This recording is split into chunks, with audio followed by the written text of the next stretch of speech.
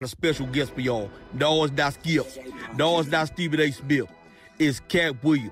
Katt, what is your relationship as of current with celebrity entertainer Steve Harvey and every other comedian that it seems like you don't fuck with? I put it in my contract that I wouldn't work with Rickey Smiley unless he's in a dress. Now, why the hell would you emasculate Rickey Smiley like that, Katt? Because he looks like the average dead 90-year-old black grandmama when he wear one. Diddy is a freak.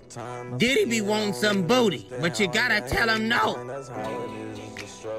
Harvey Weinstein wanted to give me sloppy toppy. Pause. Katt, you gotta be kidding me.